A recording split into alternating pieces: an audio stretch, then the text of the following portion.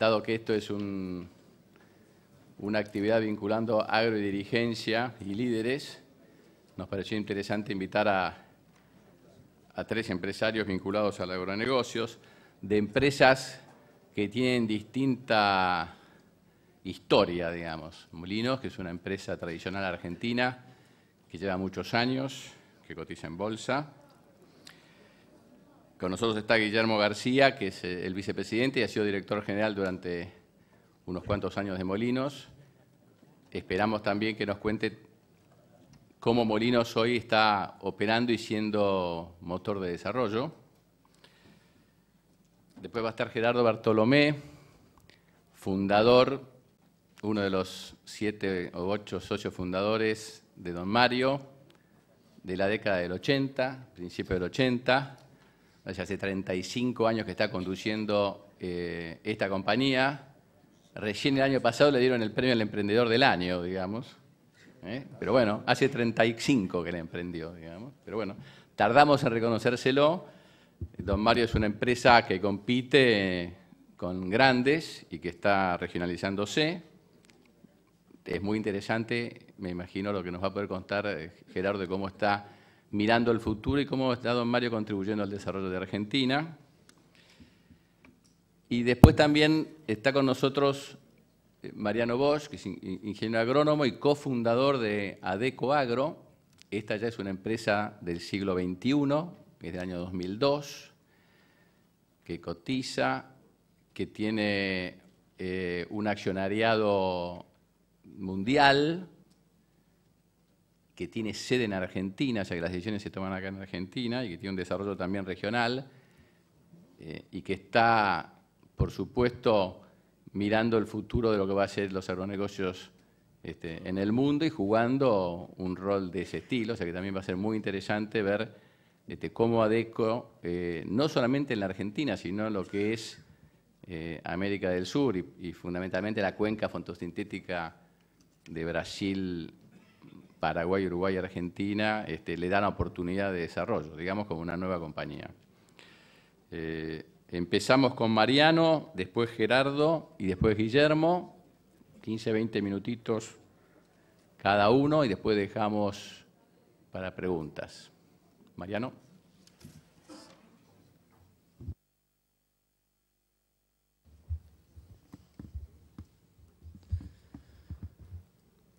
Bueno, buen día. Eh, gracias Alejandro, gracias José por la invitación. Y yo le voy a contar un, poquito nuestra historia y, lo que vinimos haciendo en Adecoagro y qué es lo que pensamos atrás de lo que venimos haciendo y bueno, cuál es nuestra visión para adelante, en qué, en el fondo es lo que, lo que preocupa. Nosotros, ¿qué pretendemos ser? Y siempre nacimos con esta idea de pretender ser una empresa agroindustrial que sea líder en Sudamérica siempre una visión de producir los alimentos y la energía renovable y, ser esencialmente productores.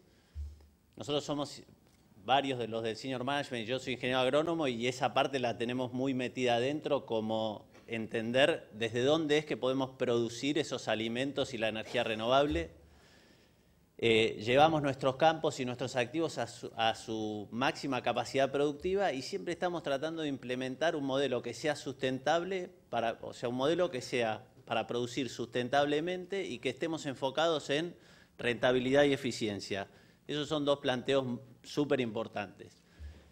Entonces, un poquito de la historia de cómo fuimos haciendo esto. Nosotros arrancamos en el año 2001 con la idea, después en el 2002 logramos hacer la primera operación, a partir de ahí produjimos 60.000 toneladas de diferentes commodities, diferentes granos, y hoy en el año 2014 estamos produciendo 1.670.000 toneladas de arroz, trigo, soja, eh, azúcar, etanol, de diferentes commodities que después voy a, contar un poquito con más detalle. Eh, nosotros arrancamos, éramos 4 y 5 con las discusiones de la idea, después en la primera cosa éramos 180 empleados y hoy somos 8 más de 8.000 empleados. De esos 8.000 empleos en todo este desarrollo, en todo este proyecto, más de 6.000 son empleos nuevos, o sea, donde antes no había nada. Y todos esos empleos son en el medio de la provincia de Corrientes, en el medio del norte de Santa Fe, en el medio, de Mato Grosso do Sul. Sea que cuando hoy escuchaba eh, lo de mm, el bienestar o el, generar valor, la verdad que en eso nos sentimos súper comprometidos en el eh, generar empleo y ese concepto de generar empleo y empleos que sean dignos y seguros. Ahora, lo que en ningún momento nosotros nos podemos olvidar es que tenemos que ganar guita y eso en Argentina muchas veces está como mal visto, que no se puede decir con claridad. Si nosotros no generamos retorno para nuestros accionistas, el proyecto se viene a pique, como hemos visto varios eh, proyectos en, cerca nuestro de empresas que, terminamos comprando varias veces en, en posiciones donde si no tienen ese pensamiento de que hay que generar retorno para accionistas, es muy difícil seguir avanzando. Por eso ese punto no quería dejar de destacarlo. Em, ¿Cómo es que hicimos todo este crecimiento? Eh, arrancamos buscando plata de inversores y buscando proyectos. la primera inversión fueron 54 millones de dólares con el primer proyecto, nos parecía que era una enormidad. Yo, como ingeniero agrónomo, vivía en, en Peguajó, era asesor de un CREA, eh, trabajaba en la Fundación Producir Conservando, había tenido la suerte de visitar todas las regiones productivas de Argentina, muchas regiones del mundo, de Estados Unidos sobre todo, de Brasil. O sea, tenía la suerte de, tener una visión de la oportunidad que existía en Argentina en ese momento y que la sigo teniendo, que seguimos teniendo una oportunidad por las condiciones naturales que tenemos para producir estos, estos diferentes commodities. Eh, entonces, empezamos juntando eh, inversores. El primer año cuando juntamos esos 54 millones de dólares, después les decíamos que íbamos a ganar 5 millones y armamos toda una proyección. ¿eh? Justo fue un año espectacular, nos fue todo bien, los rinde bien, todo, salió bien, generamos 8 en vez de 5, entonces los inversores podían creer que además habíamos cumplido, entonces eso generó una situación de confianza súper importante. Y ahí nos dimos cuenta que había exceso a plata en el mundo infinita, que la limitante no era la plata en ese periodo. Y nos pasamos ocho años buscando oportunidades en Uruguay, pues crecimos con algo en Uruguay, después nos fuimos a Brasil, en Brasil nos dimos cuenta que era la caña de azúcar, en el 2005 nos metimos con la caña de azúcar a full, en Brasil empezamos a desarrollar un proyecto enorme que tuviera todo ese desarrollo y hasta ahí era siempre que teníamos mucho más acceso a plata que eh, a proyectos y a gente que estuviera eh, dispuesta a trabajar en el interior. Entonces, en ese momento nada, empezamos a perderle el respeto a los proyectos y a la plata. Yo viniendo del lugar donde venía, de, hablar de, tenía mi propio negocio de 100 de mil, eh, eh, hablábamos de millones con una irresponsabilidad eh, importante. pero bueno, era lo que, lo que venía y lo que, y lo que empezaba a aparecer y esas oportunidades estaban. Y eso nos empezó a generar mucho entusiasmo de saber que teníamos acceso, que había gente que nos creía que tenía plata, que nos quería meter, y la verdad que hasta el 2008 dijimos mucho más veces que no a plata que a proyectos. Eh, y hasta ahí nos tapaban. Después vino otros ciclos y, esos ciclos fueron alternando donde teníamos más proyectos que plata y por más que nos creyeran de lo que veníamos haciendo, no había plata y no había plata para nadie. O sea, cuando hay, hay para todos, cuando no hay, no hay para nadie. Era parte del ciclo que tuvimos que vivir. Pero una parte importante de este proceso me parece que fue todo lo que fue hacer la compañía pública y hacer el IPO. Que yo hablaba del IPO, no tenía idea de qué estábamos hablando, eso es la oferta pública de acciones. Eh, y en, el 2008, 2009, que estaba más difícil el acceso a capital, nos empezamos a preparar para salir a la bolsa y con eso acceder a nuevos inversores y a, otro, y a, más capital. Ahí obviamente teníamos, habíamos venido creciendo siempre con un espíritu muy emprendedor y muy agronómico y cero... Eh, estructurado. Eh, teníamos, creo que 27 sistemas distintos, en cada uno, cada compañía venía con algo, cada desarrollo tenía un sistema diferente, me hablaban del ERP, me decían que íbamos a gastar 3 millones de dólares en el ERP, yo me agarraba los pelos así decía, no, nunca vamos a gastar esa plata. Bueno, la tuvimos que gastar, la gastamos y hoy estoy feliz de haberla gastado en que tenés que profesionalizar, o sea, teníamos que dar ese paso de tener los números mucho más eh, concretos, de poder explicarlos mucho mejor si queríamos ir a ese proyecto. Bueno, ahí sin duda el haber tenido un equipo que entendían más de eso, que, el, haber podido laburar en equipo hizo que la gente de administración o de ese sector, que antes era el último lejón del tarro en el interior, en Buenos Aires, en cualquier lado, empezó a tener mucho más valor. Había contadores buenos en el interior que entendían cómo funcionaba el sistema, el CFO empezó a organizar todo ese proceso. Bueno, eso fue espectacular en el desarrollo de la compañía, fue un proceso eh, súper importante y de cambio y de entender otras cosas y de, estar dispuesto a escuchar al otro de, hacer las cosas no como yo originalmente pensaba, sino como, como otros me iban explicando. Y ahí después parte de ese proceso fue cuando hicimos el, IPO, que nos pasamos 25 días viajando por el mundo, todas reuniones iguales, aburridísimas, explicando siempre lo mismo.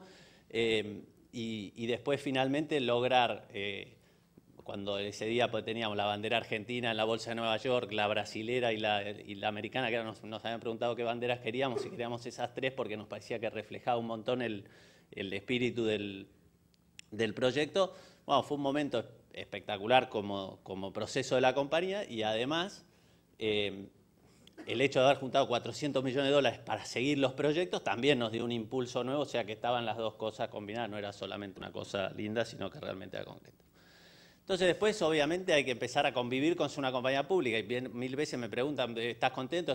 La verdad estoy feliz de ser una compañía pública, pero antes de eso tuve que ir al psicólogo porque el, el, proceso, la frustración de ver a la acción que baja, que yo estoy convencido que tiene que valer el doble lo que vale y encima viene bajando y todas las veces baja y por ahí sube y después vuelve a bajar eh, hay que aprender a convivir con ese proceso que en realidad no cambia nada, no sirve de nada, era solamente un tema de frustración mío, porque en el, tipo de proyecto que nosotros tenemos y en el largo plazo que estamos mirando, no importa si la acción vale una cosa o la otra, por ahí después puede importar para usar tu acción como moneda de cambio o que sea un... Pero a los efectos de lo que tienen que ser nuestros objetivos, nuestra visión, ser público y, nada, y tenés el valor de la acción que cambia, baja y además te comparás con las otras compañías parecidas, entonces siempre estás mirando eso, ok, es parte de un proceso, pero no es lo que nos tiene que, mover a la hora de seguir emprendiendo o seguir desarrollando proyectos. Entonces, todo esto finalmente termina en una estructura de capital que es accionistas y deuda. Los accionistas son todos estos accionistas públicos, que hoy es ese listado, eh, o, el, último quarter que sabemos es ese listado, hoy ya no sé ni siquiera quiénes son. Eh, hay, hay, un board que, que representa a todos sus accionistas en conjunto, pero representan al 100%, o sea que todos estamos pensando en que tiene que ser lo mejor para el 100% de los accionistas, o sea que está perfectamente eh, estructurado. Eh, y después, donde no hay ninguno que tenga control y no hay nadie que tenga una decisión única, es el 100% del board que están todos pensando en lo mejor para todos los accionistas. Y también tenés una estructura de deuda y en esa estructura de deuda sí o sí tiene que ser en largo plazo por el tipo de compañía que tenemos, parte en moneda local, parte en moneda en, dólares. Eh, de acuerdo al tipo de producto que tenemos, tratamos de estar más o menos balanceados en lo que es la deuda en dólares o la deuda local. Casi siempre conviene la deuda local, no siempre tenés acceso a esa deuda local de largo plazo. Bueno, ah, tenemos muchos reales ahí porque para los proyectos de Brasil sí tuvimos bastante acceso a eso. Entonces, eso es cómo, se termina estructurando y cuál es la historia que nosotros siempre vendimos y que para, poder eh, eh, seguir este proyecto y para haber podido crecer en, lo que estamos haciendo es que hay una demanda mundial de alimentos que va cambiando y que hay momentos donde valen más o valen menos, pero la demanda mundial de alimentos existe y va a existir siempre y lo que dijo Mauricio es el supermercado del mundo, es lo que estamos convencidos y algún día lo vamos a hacer y no solo de Argentina, sino desde Sudamérica. Entonces, eh, para esa demanda nosotros ya tenemos activos, para esa demanda nosotros ya tenemos activos eh, importantes, los tenemos desarrollados, tenemos mucho más para desarrollar, hay un modelo sustentable de producción para ponerlos ahí y hay un equipo para continuar aprovechando esas oportunidades de crecimiento. Y dentro de ese proyecto están en, eh, están los, campos en Bahía, o sea, tenemos el... Eh, Dentro de ese proyecto está centralmente Sudamérica, ¿sí? están en Sudamérica. ¿Y qué lo tenemos en Sudamérica como la gran ventaja competitiva? Es que tenemos una combinación de suelo y clima que es única. Y por el tipo de laburo que tenemos, tuve la oportunidad y me encanta viajar a ver proyectos productivos desde África, Australia, Nueva Zelanda, Europa, Europa del Este, Estados Unidos, todos los lugares. Cada vez que vamos a uno de esos lugares a ver el mejor proyecto para producir estos commodities, siempre volvemos diciendo, la verdad tenemos mucho mejor, porque todo lo que tenemos acá en Sudamérica no lo encontramos en ningún otro lado. Y eso, esa combinación de suelo y clima, más mano de obra calificada, más flacos que en el interior, o sea, cuando vienen los inversores y ven en Mato Grosso Sur o en el medio de Corrientes un, un flaco que le habla del retorno de su inversión, no lo pueden creer. Y eso es lo que tenemos en Argentina. Y tenemos un montón de universidades en el interior con gente capacitada que entiende esas cosas y me parece que eso es una oportunidad que tenemos. Entonces, cuando hablamos de la visión 2020, ¿qué es lo que nosotros estamos metidos? En, en lo que estamos ahora, que es lo que descubrimos que tenemos esas condiciones naturales competitivas importantes para nuestra compañía y ahí vamos a seguir metiéndole ficha y, haciéndola crecer, que es en la caña de azúcar, en Mato Grosso Azul, en un proyecto que tenemos ahí, en el arroz, que es todo en Argentina, que estamos completamente integrados, en la leche, que también es toda en la Argentina, la pampa húmeda nos parece que tiene los alimentos más baratos, que transformar proteína vegetal en proteína animal es la mayor oportunidad que tenemos, y en el soja, maíz y trigo, que es lo que llamamos la producción agrícola tradicional, creo que, hay una excelente oportunidad. Por ahí, ahí nosotros no somos tan competitivos en esa oportunidad como en las otras anteriores que mencioné, porque ahí sí tenemos particularidades nuestras que nos hacen a nosotros más competitivos. Y siempre pensando en esa sustentabilidad del largo plazo que incluye la parte ambiental y todo tiene que tener su estudio ambiental, la económica y la social. Entonces, como estoy con el tiempo muy cortito, medio, me, demoré un poco al principio, eh, todo lo que es nuestro proyecto de azúcar, etanol y energía eléctrica, eso es lo que producimos a través de la caña de azúcar. Y es un proyecto que es totalmente sustentable desde el punto de vista del ambiente, del concepto. Es, la, fijación de lluvias, energía solar y anhidro y CO2 y lo transformamos en electricidad, azúcar y etanol. Y el 100% de los otros productos vuelven todo como fertilizante al campo. Ese es el concepto del proyecto de esas 120.000 hectáreas que se ven en el mapa que tenemos plantadas de caña de azúcar, que las procesamos en dos usinas nuevas y esto es un lugar donde antes no había nada y ahora está este proyecto que es absolutamente sustentable para el clima y ahí se, generamos, se generaron 5.000 de los 6.000 y pico de empleos que estaba hablando, son 5.000 empleos donde antes no existía nada. El mismo caso es para el arroz, el arroz es en el NEA, tenemos un clúster totalmente integrado de producir... Eh, arroz, eh, de producir arroz cáscara, procesarlo en tres molinos y tener todo el sistema comercial integrado donde 40% de mercado interno y el 60% es exportación. Entonces, esa diversidad de zonas que tenemos, el desarrollo tecnológico para cada uno de esos campos, que son más de 40.000 hectáreas irrigadas, fijas, propias, donde vamos invirtiendo en cada una de esas hectáreas, más la eficiencia en los, en los procesos y esa integración completa de desarrollar semilla hasta vender el producto mercado interno o exportación, pero ya producto terminado, es donde, donde nos sentimos que tenemos una ventaja competitiva y la vamos a seguir explotando. Y después finalmente en la leche, que es el, eh, en la otra oportunidad perdida, hoy Juan Liacha hablaba de que la leche no se conoce, a mí siempre me desespera desde que estaba en la facultad que me encantó la leche, cuando íbamos a Estados Unidos a ver los proyectos que se habían desarrollado con la Fundación Producir Conservando, nos quedó ese sueño dando vueltas en la cabeza y nos parece que la pampa húmeda tiene una oportunidad única para transformar proteína vegetal en proteína animal. Entonces tenemos este proyecto integrado donde tenemos un tambo, eh, son 3.500 vacas confinadas, ya tenemos dos tambos, ese es el primer paso, pero es solo el primer paso de esa transformación de soja, maíz, eh, eh, confeccionarlo, dárselo a las vacas y transformarlo en leche, ese es el paso principal que hoy tenemos. Ya estamos invirtiendo en este momento en un biodigestor y ese biodigestor va a generar todo el residuo como fertilizante que vuelve al sistema y eh, genera energía eléctrica que también sirve para el sistema, incluyendo una planta. En esto incursionamos en la parte de industrialización, nos fue pésimo, así que volvimos para atrás, vendimos por suerte y estamos pensando en ver cómo incursionamos de una manera diferente. Bueno, finalmente lo de los granos, que es lo que por ahí más se conoce, por supuesto que siembra directa, siempre pensando en ese esquema. Eh, Silo Bolsa, los dos descubrimientos que, que hablaba hoy Federico, me fueron esenciales con, con, los diferentes grupos desarrollándolos.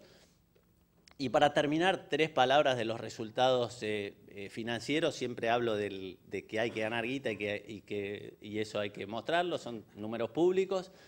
Esto es cómo fueron creciendo las ventas. En naranja es todo lo que tiene que ver con la caña de azúcar y en verde es todo lo que tiene que ver con, el resto de, la, agricultura. Esos son los, la torta es la que describe los diferentes commodities. Y lo importante es que en cada uno de estos commodities nos sentimos bien cómodos que podemos ser los más eficientes produciéndolos porque estamos en las condiciones agronómicas correctas que son las que mandan a la hora de producir estos commodities. Y finalmente los resultados históricos de la compañía, como vienen creciendo en línea con eso y eso es lo que nos va a permitir seguir invirtiendo esos resultados que estamos generando en potenciar estos tres, estos tres, la caña de azúcar, el arroz y la leche, que son los que más foco le vamos a poner y le estamos poniendo, en ver el desarrollo que podemos nosotros como compañía eh, pensar más para el 2020 y siempre con ese pensamiento de que sea sustentablemente, que la sustentabilidad es económica, o sea, ganar guita, social y, ambiental y respetando el medio ambiente, me parece que es algo eh, súper importante como planteaban hoy con el, en este negocio en particular con la encíclica del Papa de hoy. Así que muchas gracias. Muchas gracias, Mariano.